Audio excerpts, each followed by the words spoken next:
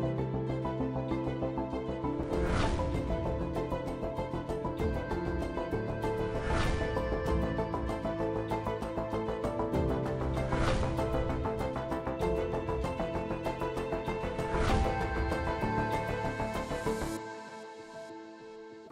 My interest in redesigning prenatal care really came about from my experiences with patients during my residency.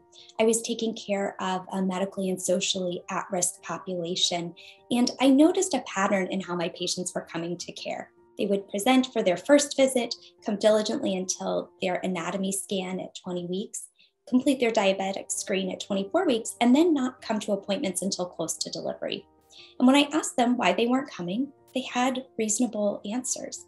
They were facing significant barriers to care. And so this made me start thinking about how we were delivering prenatal care and how it might be better designed to meet patients' needs the need for flexibility was exacerbated by the pandemic, and we quickly were able to transition these ideas of how care could be into reality. We did a large survey at Michigan Medicine, and all of that work pointed to the need for a more flexible model of prenatal care, both for visit number, but also for visit modality. And we created this new model, an individual patient pathway right from the beginning of pregnancy.